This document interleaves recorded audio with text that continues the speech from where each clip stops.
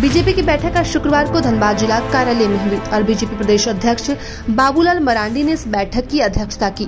इस बैठक में धनबाद, बोकारो, गिरिडीह कोडरमा के सांसद, सभी विधायक एवं जिला अध्यक्ष मौजूद थे। और इस बैठक में सताईस जनवरी को पीएम नरेंद्र मोदी के कार्यक्रम पर चर्चा हुई। पीएम नरेंद्र मोदी का कार्यक्रम बलियापुर हवाई अड्डा मैदान में होगा। इस आयोजन को लेकर सभी को अलग अलग ज़िम्मेदारी दी गई है और बीजेपी की बैठक के बाद औपचारिक घोषणा की गई कि पीएम नरेंद्र मोदी सताईस जनवरी को धनबाद आएँगे।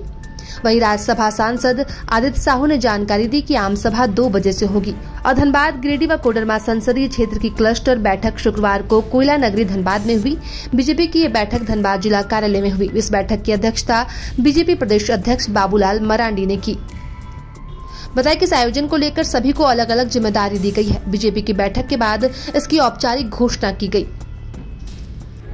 प्रभात खबर डॉट कॉम, विश्वास वही, रफ्तार नहीं